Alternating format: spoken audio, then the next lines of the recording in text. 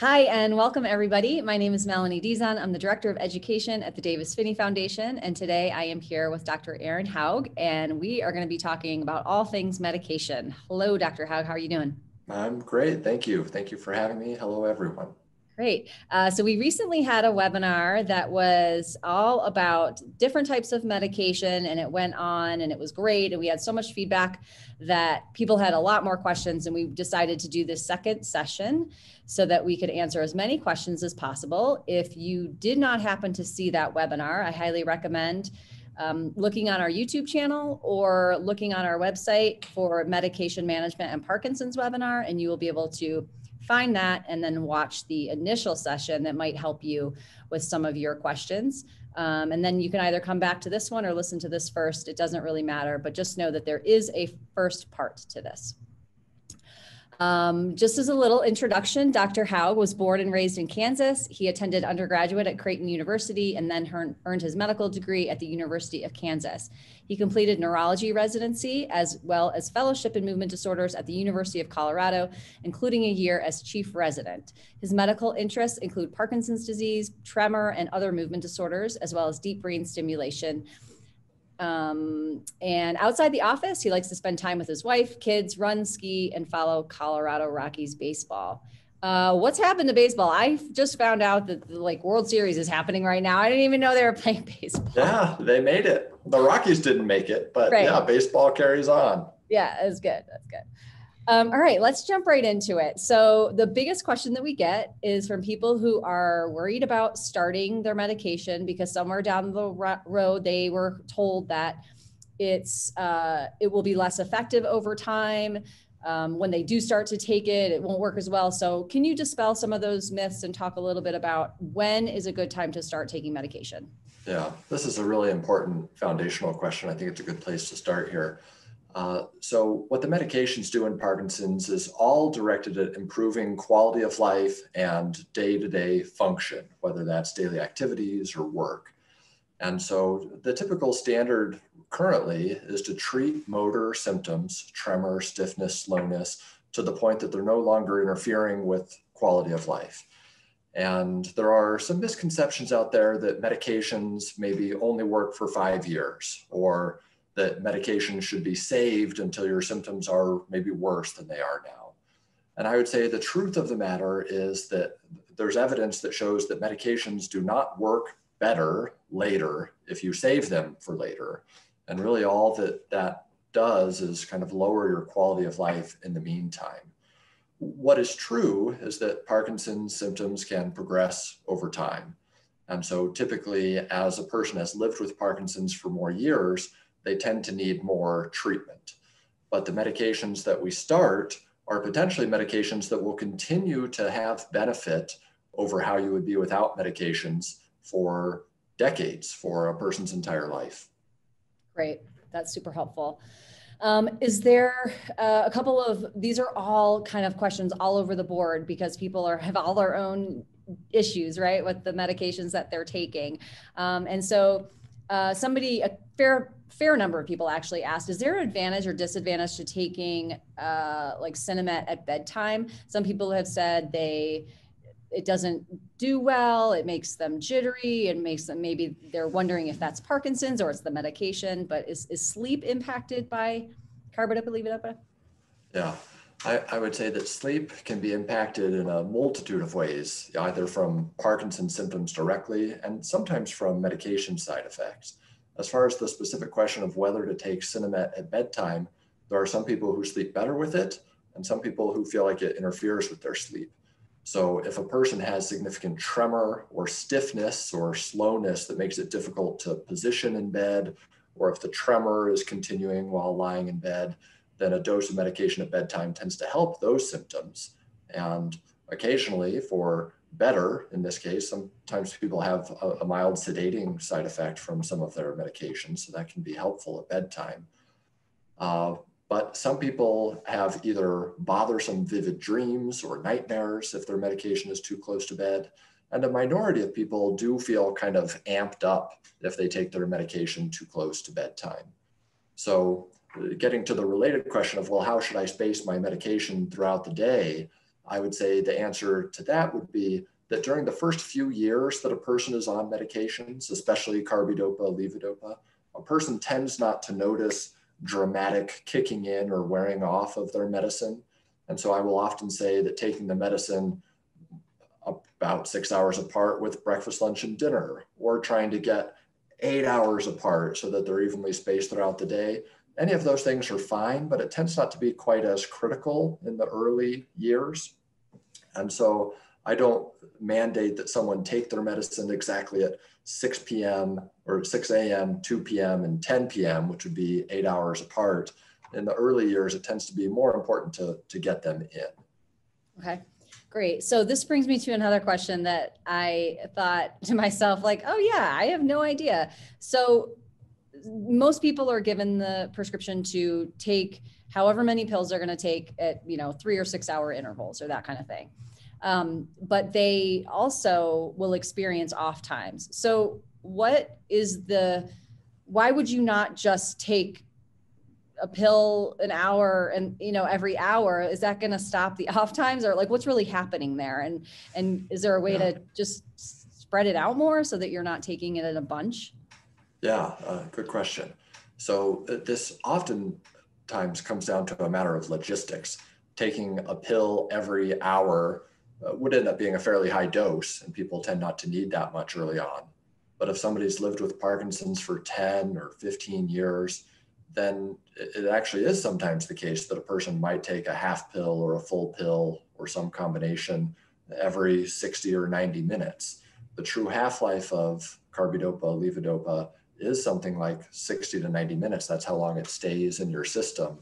But in milder, earlier stages of Parkinson's, the brain is still making enough of its own dopamine to provide some buffer, which is why taking it in just three times a day, which can be hard enough, uh, is often adequate. Uh, but if a person is having a lot of peaks and valleys, then taking a lower dose more often, what we call fractionating the dose, uh, can be helpful. Okay, great. Um, you had uh, talked a little bit about Mirapex, and uh, when you talked about it, you you talked about sudden sleepiness, like sleep attacks. Is that something that is common with Mirapex? And if for those of people who aren't completely sure. What is a sleep attack? How would you define that? Okay. Yeah, so a sleep attack or sudden sleepiness, I would say, is this problematic uh, issue that can occur when you fall asleep in the middle of doing something. So you fall asleep in the middle of an active conversation like we're having right now, or you fall asleep while driving or operating machinery. So those are all highly problematic if they were to occur. And they can happen with very little or no warning as opposed to other sleepiness, which can be a, a, symptom of Parkinson's or can happen with really any of the medications where you're more likely to fall asleep. But this sudden sleepiness or sleep attacks is kind of its own thing, which fortunately is less common. It is listed as a possible side effect with, I think, just about every Parkinson's medications, every medication, but it's something about the category of the dopamine agonists where it's more a little more likely with the dopamine agonists. So that includes pramipexole, which is Mirapex, ropinirole, which is Requip, uh, and to some extent also rotigotine, which is the Neupro patch.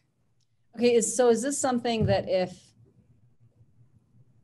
I mean, it's hard to say, but if, if somebody is has that, is it something like they're probably going to have it all the time, or, uh, well, wow, I had a sleep attack, and I'm still going to take my meds. I'm just trying to picture somebody who yeah. they had their first one, they read this as a side effect. They they don't really have a life where they can have sleep attacks like for yeah. whatever reason, right? They have to work or drive or whatever. Right. Uh, so a, a, couple of things about that. It sometimes is dose dependent. So if a person is on a fairly high dose of pramipexole, for example, then potentially that could be lowered somewhat without being stopped, and maybe some alternative medication could be added or integrated to the regimen.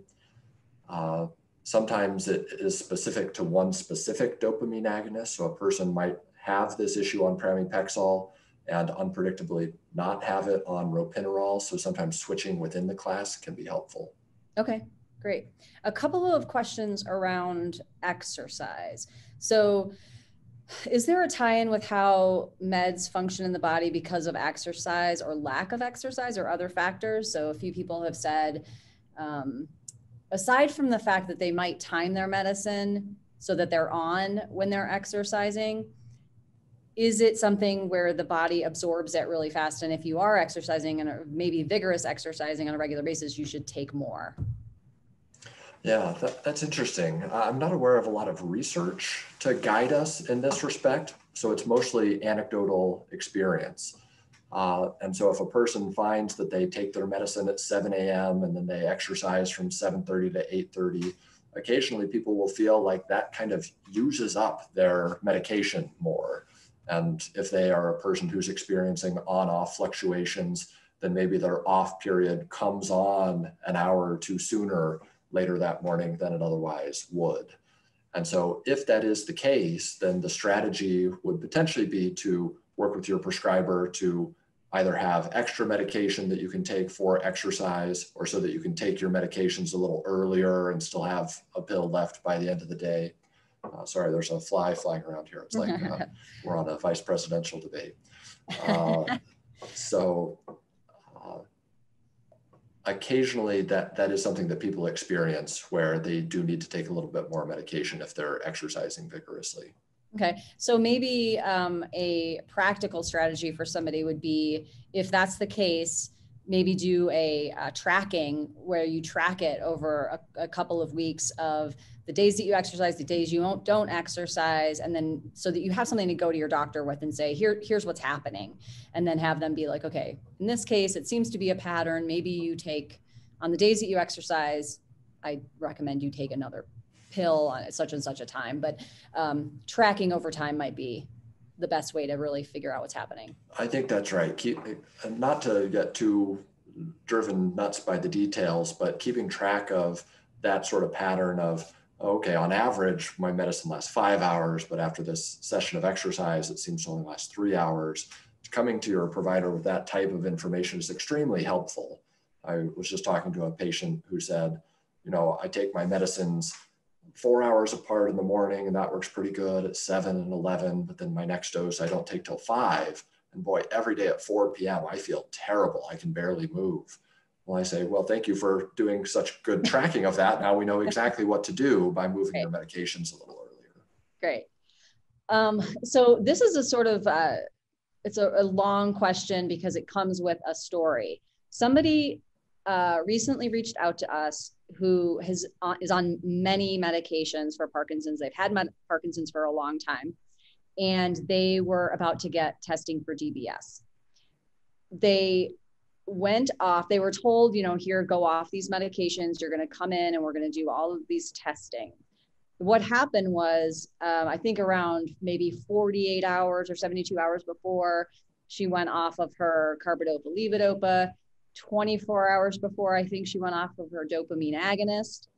Um, could have been it could have been the other way around but the fact of the matter is she was trying to get com- you know completely off the meds. And what happened was you know she basically just fell apart. She she couldn't function. She couldn't move.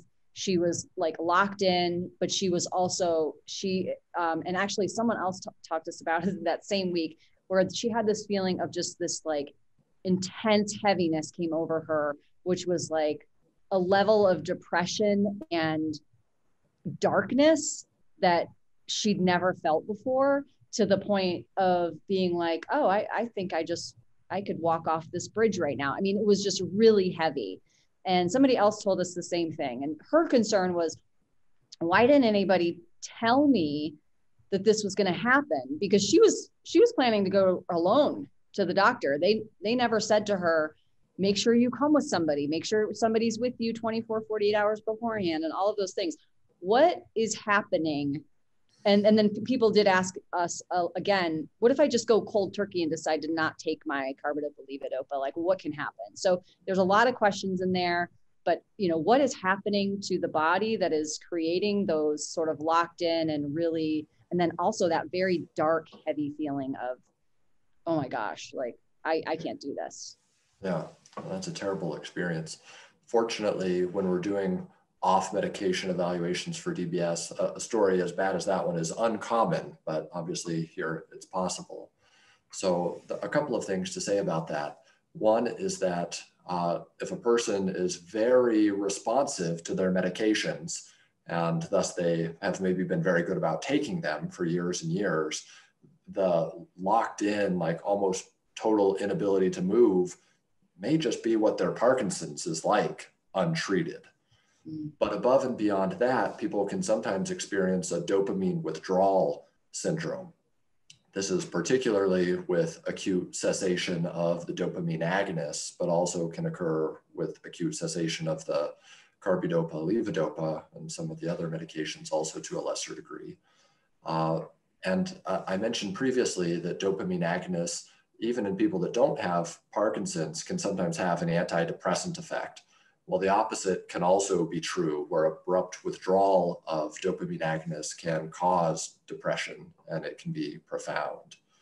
And so, uh, approaches for handling this, specifically in the context of off medication evaluation for DBS, uh, practices will vary among providers, but typically we will say for short acting medications like carbidopa, levodopa, stay off it for 12 hours would be one average practice and for longer acting medications like rasagiline or extended release agonists or the patch, uh, to be off those for 24 hours. And that's usually enough to see the big difference that medications make for a person. Uh, but this is also, uh, I think, a cautionary tale to know that your symptoms may be pretty bad off of medications. And so when you get to that appointment, you may need someone to, to bring you and bring your medications with you so that you can then take them once you're there. Uh, so those would be some of the things to, to learn from that. Great. Yeah, absolutely. Even if you don't, yeah, you, you're not going to know uh, probably how much it's going to impact you. So probably safety is assume that you need to take somebody or that somebody needs to be mm-hmm. with you during that period before. Yeah. Um, and hope that hope that you don't need them hope that you just have a friendly face that's with you as you go um, yeah. but if you do need more help that that you have it uh, i would maybe interject the reason we subject people to that when we're going through the dbs evaluation process is that for most physical symptoms dbs can help as much as medications help when they're working for you at their best and so to determine if someone's a really optimal candidate for dbs we want to see that when they have no medication versus whatever medication can do best for them, that there's at least a 30% improvement in their symptoms. And so it is often a, an unpleasant thing at best uh, to have this off medication evaluation. Uh, but we're considering a, a, an advanced treatment option in DBS. And so it's a standard part of the evaluation. Um, I guess, and going back to the other other question that people just say, like, what happens if I stop my medicine cold turkey, uh, especially for those people, it seemed to come with the, the caveat that they don't think it's working. Uh, I guess if they stop it, they're going to know right away if it's working, right? I mean, yeah. What are the other real disadvantages? Is is any is there any other expectation of what's going to happen if they stop? Let I mean, aside from the fact that they could show some of their symptoms that they didn't right. realize was actually working. Well, there, there's maybe three ways that could go. Uh, and it depends on a number of factors, including how long they've had Parkinson's and how much medication they're on. Uh, if this is someone who's on a fairly low dose of medicine, they've been on it for maybe a year or two and they're not impressed that it's making much difference. If they were to stop it acutely, then maybe nothing would change. Maybe it's really not helping very much at that dose. Uh, maybe they would find, oh, wow, look, this tremor that I haven't noticed at all for a year is back. So it turns out it was doing something. And, and, the least likely would be that they would have some of the terrible dopamine withdrawal uh, syndrome symptoms that we just discussed. But if someone has had Parkinson's for longer or is taking a lot of medication, uh, if you stop a higher amount of medication, the likelihood of having a really bad withdrawal syndrome is, is high, higher. Um, okay, so somebody's asking, is nighttime leg cramps, can that be associated with Sinemet, like too much or too little? Yeah, uh, the answer would be yes. Uh, nighttime leg cramps are, are, sometimes a symptom of Parkinson's that we call dystonia. And so this is sometimes just a tightening in the calf. It can sometimes even cause the foot to turn in or the toes to flex or extend. Uh, and usually, uh, well, uh, it can just be a Parkinson's symptom. Sometimes increasing the amount of carbidopa, levodopa, or other medications can be helpful. Less often, those types of movements are actually a manifestation of dyskinesias, in hmm. which case it would be possible that it's from too much medication. But most often, it's a, a symptom of Parkinson's, and either a higher amount of medication or addition of other medications can possibly be helpful. Uh, somebody asked that their person with Parkinson's was diagnosed about seven years ago, and his hands are freezing all the time. Is this freezing cold? Freezing cold. Is this something that can happen with Parkinson's progression? Is this just is this a circulation problem related to Parkinson's, or is this just maybe getting old and the circulation system isn't as great? Yeah, I would say that cold extremities are something that I see sometimes in my patients. It's not the most common symptom. Uh, it can sometimes be associated with orthostatic hypotension and drops in blood pressure. Uh, if cold hands happen very early on as a symptom, it can sometimes be a red flag for one of the Parkinson's plus syndromes, uh, like multiple system atrophy. Uh, but uh, it's also possible that this is just a separate thing. People that have migraines are more likely to have cold hands all the time. Uh, Colorado's cold, it can just be cold. Uh, Raynaud's phenomenon is a thing that's separate from Parkinson's uh, and can be environmentally sensitive. Um, is there any evidence that carbidopa levodopa can cause cognitive confusion? Yeah, here again, this is something that cuts both ways. I would say what I see fairly often is that if someone's undertreated or uh, treatment naive and they start carbidopa, levodopa, or maybe other medications, that they can sometimes have kind of a mental awakening where they feel like not only is their body moving better, but their mind is moving better. Uh, on the other end of the spectrum, it is possible for carbidopa, levodopa to cause uh, often a mild confusion in a couple of different ways. One of the side effects is that it can lower the blood pressure some. And if somebody is very sensitive to that side effect, then not having enough blood flow up to your brain uh, can make a person kind of foggy and confused.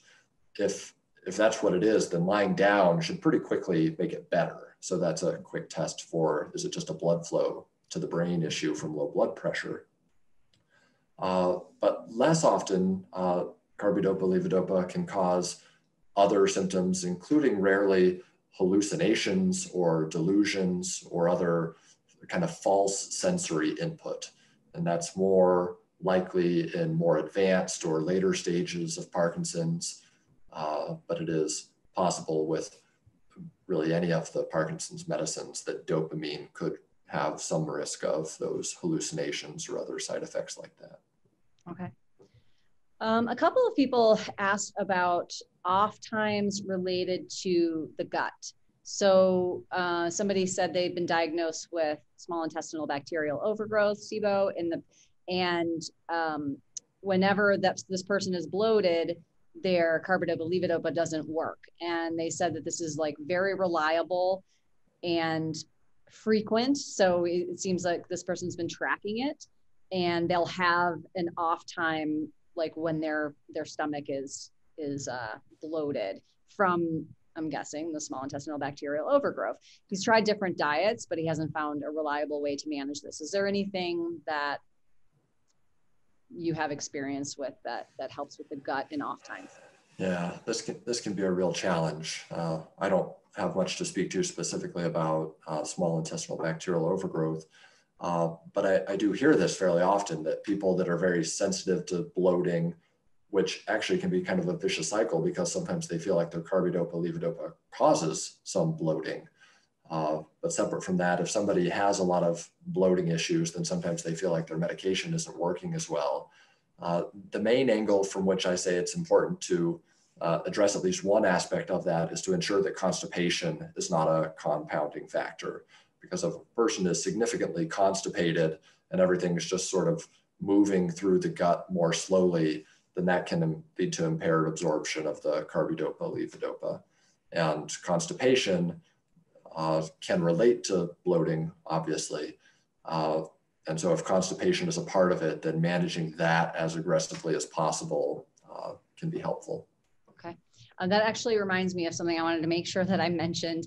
Uh, I do, I think I mentioned it on the other, the other webinar about this, but one of the things that we, we learned uh, with our community is that if you take your medication with a large glass of water, your carbidopa levodopa, every time you take it, a full glass of water.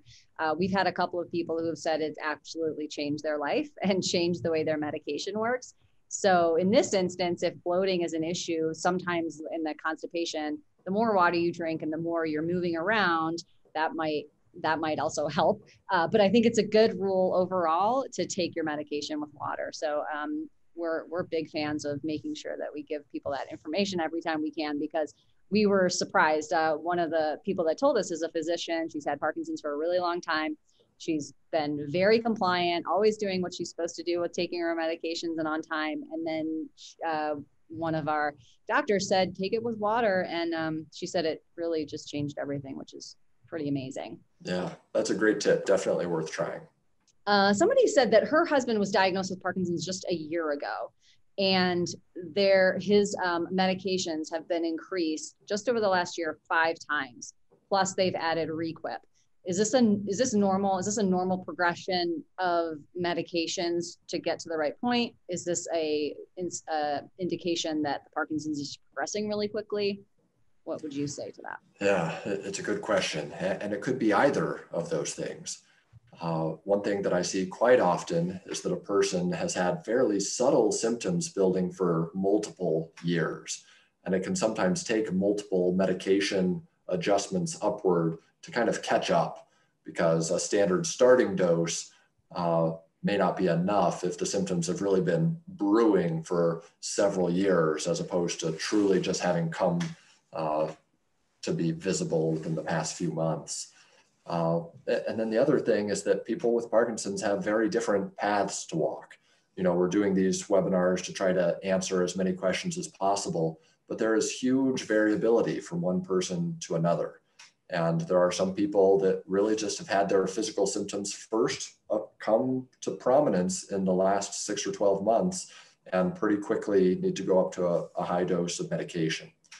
Uh, that's a situation where using multiple medicines from different categories, and even working up to the highest tolerable dose within each category is going to be the first steps. And considering some of the advanced treatment options like deep brain stimulation may be another consideration uh, as early as within the first four or five years of uh, symptoms. Great. Um, a couple of questions about drug interactions. Uh, somebody with Parkinson's also has diabetes and they said that um, I've read where diabetic med- medicines, diabeta, I don't know if I'm saying that right, and Actos were either being used or tested for use for uh, Parkinson's. Actos was previously pulled for diabetes because of heart impact. And do you do you have any information on crossover meds, contraindications, or interactions with other Parkinson's needs like comorbidities, things like obviously diabetes and other issues that people are dealing with what are some of the like more tricky um, cross crossover meds that you've dealt with mm-hmm. one of the things that's uh, nice about parkinson's medications is that most of them have few interactions with medications that are used for other health conditions like high blood pressure high cholesterol diabetes even blood thinners you know, I, am just thinking through the categories of levodopa, dopamine agonists, monoamine oxidase B inhibitors, COMT inhibitors, the adenosine A2A antagonists, the anticholinergics, and amantadine. And there's not a lot of big interactions through metabolism in the kidney or metabolism in the liver.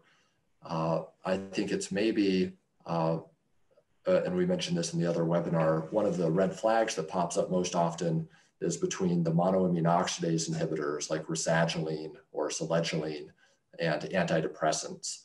Uh, there is a, a boxed warning about the potential for too much serotonin when those things are used in combination together. And I would say that in clinical practice, we use that combination with good effect and without intolerable side effects thousands of times.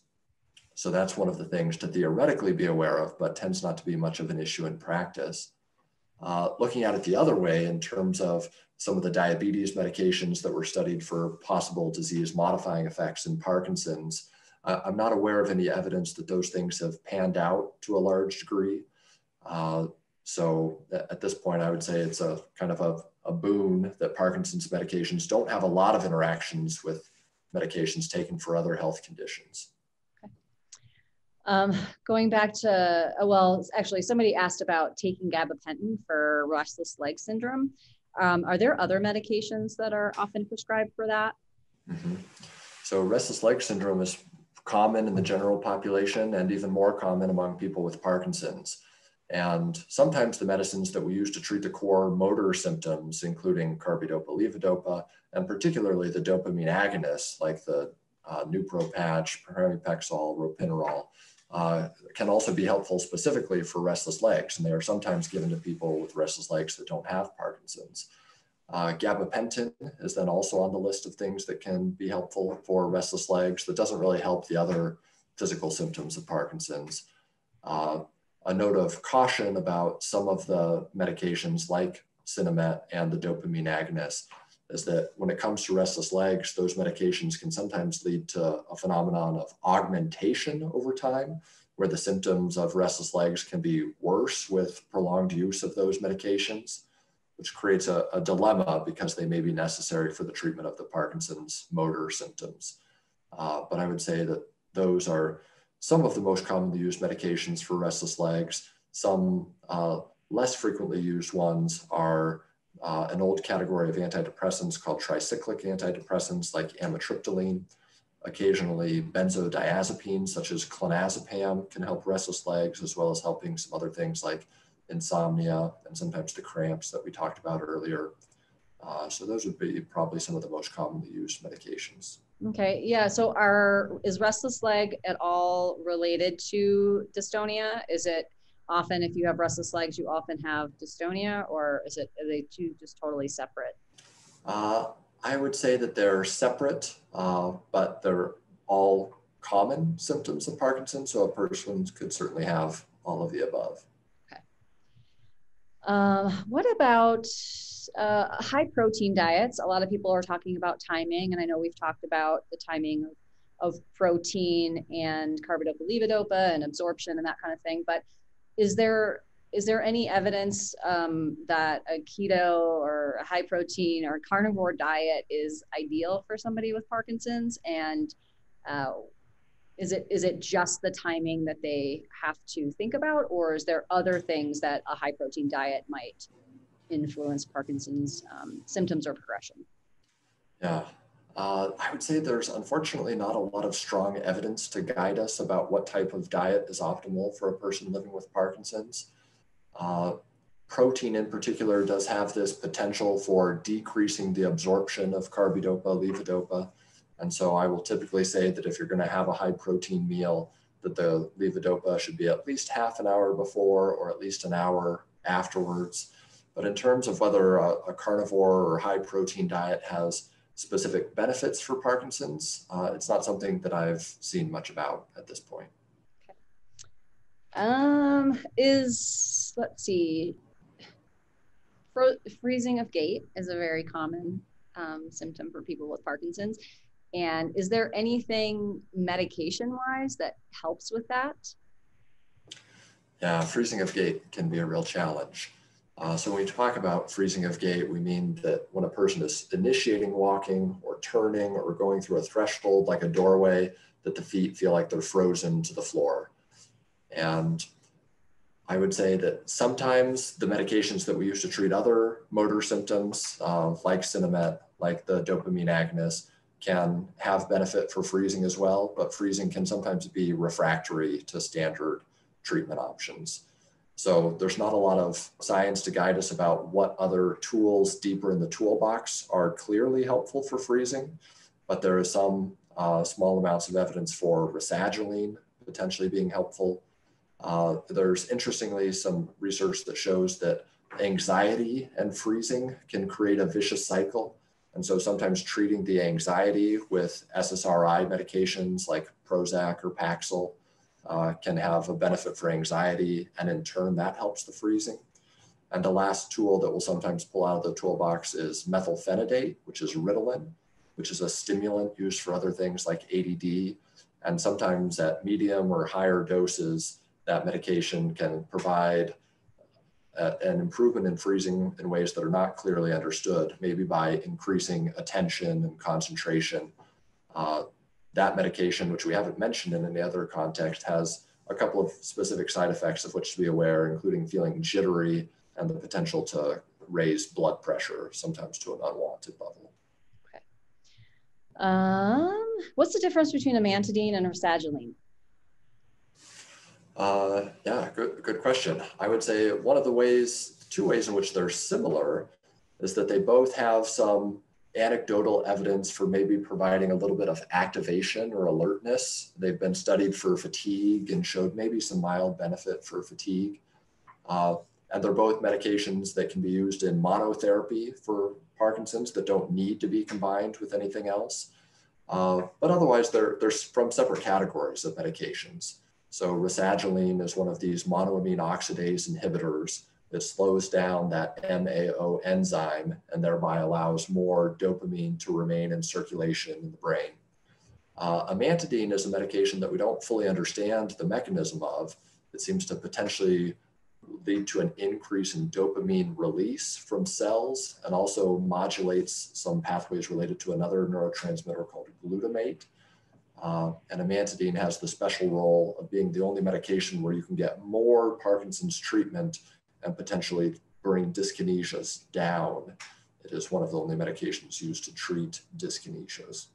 Okay. Uh, you said monotherapy. So in what instance, so we know carbidopa levodopa has been the gold standard for 50, 60 years, and it's typically the first line of medication. Under what circumstance would you not take that and and go for a monotherapy of, of something else? Like what, what is, what cause, I mean, what prompts you to right. do that? This really gets into the art of treating Parkinson's and living with Parkinson's because different Parkinson's specialists would even give different answers to this question. One of the reasons to potentially consider carbidopa levodopa as first treatment would be that for most people, it's the most powerful medicine. So if symptoms are either causing significant embarrassment or difficulty with activities of daily living or interference with work, then often starting with the most effective medication first and keeping it at as low of a dose as possible, maybe one tablet of 25 slash 100 milligrams three times a day, uh, is a reasonable place to start. And it's where I often start with my patients. If a person has maybe really mild physical symptoms, enough to be diagnosed, but they aren't causing much functional interference, and they say, well, yeah, my symptoms are a little bothersome, but I don't really feel like I need to treat them that's a situation where I will sometimes start rasagiline as initial therapy. It tends to be kind of a small tool in terms of how powerful it is for treating tremor, stiffness, and slowness, uh, but it has a putative disease modifying effect. This is controversial. There's not strong evidence that rasagiline has any disease slowing effect, but there was some research in the late 90s and 2000s that showed maybe it has a disease modifying effect. And so I will often use that medication either early on in that situation for this possibility of disease modification, uh, or it is often one that I will add second or third uh, for that same reason, in addition to the fact that rasagiline has this booster type effect where it can make each dose of Sinemet, for example, uh, last longer and work stronger. Uh, amantadine as a initial monotherapy is not something that uh, I really do, but it is something that other practitioners will sometimes do. Uh, and it may there just be to postpone initiation of carbidopa, levodopa. Uh, and we talked some about that in the other webinar, but just to mention it here as well, uh, carbidopa, levodopa is the most effective medicine for tremor, stiffness, and slowness, the core motor symptoms. Uh, but the more years that a person has been on it, the more likelihood that there is of developing motor complications. And those complications can be either the on off fluctuations uh, or dyskinesias. And other medications can lead to those issues as well, but carbidopa, levodopa seems to shorten the time frame for some people at which those complications occur. So one reason to use either rasagiline or amantadine or a dopamine agonist first as part of a so-called levodopa sparing strategy would be to push off those complications maybe to a somewhat later time than they would otherwise occur. Okay. Uh, so the carbidopa, levodopa orally disintegrating tablets, do they have a quicker effect? If yes, uh, what is the uh, what, what is the downside of taking those? Why why wouldn't anybody just, just take those? Yeah, so the oral dissolving tablets, their old branded name was uh, Parcopa. They are also carbidopa, levodopa, just like the regular, usually yellow tablets that a lot of people take that are uh, quite a bit more prevalent. Uh, I would say that the oral dissolving tablets, their main clear advantage is if someone has trouble swallowing, then the tablets can dissolve and they're easier to get down that way. And that's why they're, pro that's probably the most often reason that they're prescribed. One of the reasons that they're probably not prescribed as often is that there was initially some cost differential. It became available after regular carbidopa, levodopa, and was a branded medication for a longer time and was thus quite a bit more expensive for a time. Currently, I'm, I'm not sure if there's a significant cost differential. Looking at a resource like goodrx.com might be helpful for comparing uh, but I would say that there likely is a slightly faster onset. I don't know that it's been studied. I'm not aware of any data that it has been. Uh, and it probably tastes less bad than chewing up or crushing regular carbidopa, levodopa, but you can do that as well. So I would say it's probably slightly faster. And the fact that it's not used more broadly may be an issue of cost or may just be an artifact of the times at which medications became available. Okay. Uh, three people wrote in about um, having trouble breathing, panting, shortness of breath, uh, just breathing by from taking carbidopa levodopa. They can't take the full dose because then they just start this uh, panting. And is there anything that can be done with that? Somebody said that their doctor told them to have coffee, and that actually helped a little bit, but then it really helped mess with their stomach. Um, but is that is that a common common thing that that people have that real bad shortness of breath? Yeah, it, it is not common, but it is possible. And the reasons for it are not fully understood. One of the things that it makes me think about would be if this is a person who has any physical dyskinesias that are visible, like head and neck dyskinesias, trunk or extremity dyskinesias, the diaphragm sometimes can develop dyskinesias as well. And if this is you take the medicine and then 30 or 60 minutes later you're having this trouble breathing it may be that you're having this unfortunate symptom of diaphragm dyskinesias which are difficult to diagnose and some people it wouldn't even occur to. But uh, if that is the case then taking a lower dose and fractionating it like we talked about earlier may be helpful because the dyskinesias tend to be worst at the peak of the dose. Likewise, changing from regular release carbidopa levodopa to one of the controlled release formulations may be helpful, or potentially adding amantadine as a treatment for dyskinesias may be helpful. Uh, but that would be the thing that I would mostly think of in that circumstance. Okay. Uh, what is your first line of defense for pain for people that have, you know, really bad stiffness and just all over pain and um, maybe, you know, maybe dystonia, but just all different types of pain. Yeah. Pain is a under-recognized symptom of Parkinson's. And I think sometimes I'm even guilty of not recognizing it to the extent that it, it, I should for my patients. Uh, I think the first line of treatment is making sure that dopamine replacement therapy is optimized. So making sure that, oh yeah, you're, you're stiff as a board. I think we need more carbidopa, levodopa would probably be first if we seem to have the medications optimized and it's just kind of a, an all over total body pain or aching pain, uh, I'll often have them see their regular doctor, maybe even an orthopedist to make sure that there's not some separate joint related issue. But if we rule that out and it seems to just be pain related to Parkinson disease, Then some of the other tools in the toolbox would be a medication like gabapentin that we mentioned earlier, or its more uh, more recent cousin pregabalin, which was only available as Lyrica until some recent time. Uh, and then beyond those medications, we will occasionally get into the use of opiate or narcotic medications. And that's something that doesn't come up, doesn't come into play very often uh, in my experience. Uh, but that would probably be the uh, kind of next and last line of treatment. Okay. Oh, just Great. to say also, typically over the counter pain medications like acetaminophen, which is Tylenol, or ibuprofen, which is uh, Advil or Motrin. Uh, those are usually okay, although you would want to make sure that you're not taking them too often where they could cause stomach upset or even ulcers, or they could cause your kidney function to change on a way that would only be observable with routine blood testing.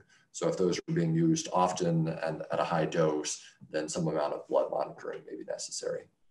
Okay, great. Well, I, I am through all my questions, my many pages of questions. Is there something that I shouldn't have or should have asked that I didn't ask um, about medications that you get frequently from your community that I didn't touch on?